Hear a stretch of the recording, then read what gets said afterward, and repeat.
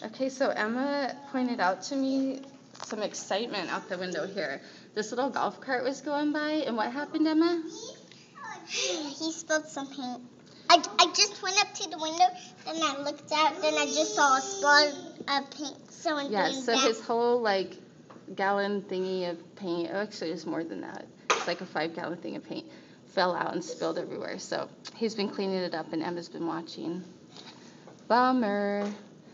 But yeah, do you guys feel like you were here with all these video clips? We're just bored and waiting. Our movers stood us up, so I've called around and trying to get different movers to come help unload.